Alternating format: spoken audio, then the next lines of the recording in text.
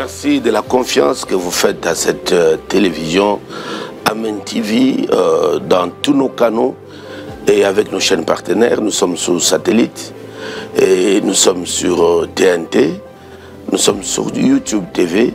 Vous êtes des millions. Merci de la confiance que vous nous faites, surtout par rapport à ce grand événement de la dispensation de la destruction des hôtels qui est aujourd'hui à son 45e chapitre. Pourquoi nous parlons de chapitre Parce que c'est un ensemble d'enseignements que nous avons résumé. En fait, chaque chapitre équivaut à un nouvel enseignement. Et euh, dans la destruction des hôtels, nous ne sommes pas limités à ne parler que des choses des familles et autres.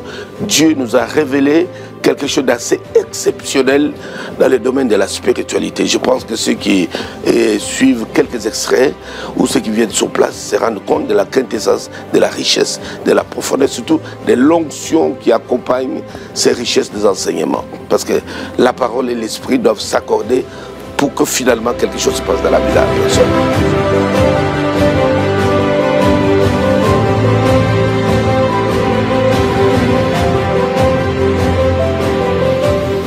Sommes dans la troisième semaine et nous bénissons Dieu pour toutes ces multitudes qui viennent des quatre coins de la terre. Nous avons nos amis ivoiriens qui sont là et les représentants légaux des grandes, des très grandes communautés qui sont euh, venus euh, participer à cette destruction des hôtels. Et nous bénissons Dieu pour nos amis camerounais, ivoiriens, gabonais et angolais Béni soit le Seigneur pour ce mouvement.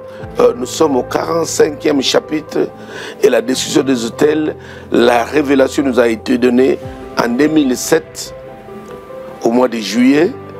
Ce n'est qu'en 2008, le 8 mars, que nous avons donné le coup d'avoir. Personne ne croyait qu'on allait en arriver là.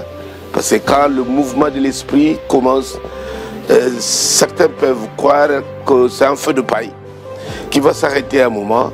Et nous voici au fur et à mesure, au fur et à mesure, toutes ces dernières semaines, nous sommes pratiquement à 400 à 500 000 participants à raison plus de 80 000 par soirée, s'il vous plaît. Si les actes des apôtres devaient être écrits aujourd'hui, il y aura aussi en bonne place des réunions locales qui atteint des proportions de grandes réunions, de croisades d'évangélisation de masse dans des stades. C'est tout à fait exceptionnel.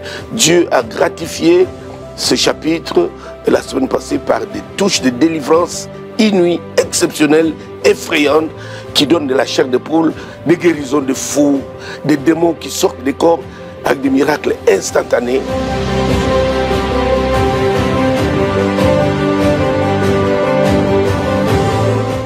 Sommes là à la fin de la, euh, de la deuxième semaine et nous rentrons dans la dernière semaine parce que euh, c'est jusqu'au 28. Et je nous demande à tout le monde qui nous suit un peu de partout dans le monde, faites comme les autres qui ont pris les avions et qui sont là, euh, qui nous ont surpris.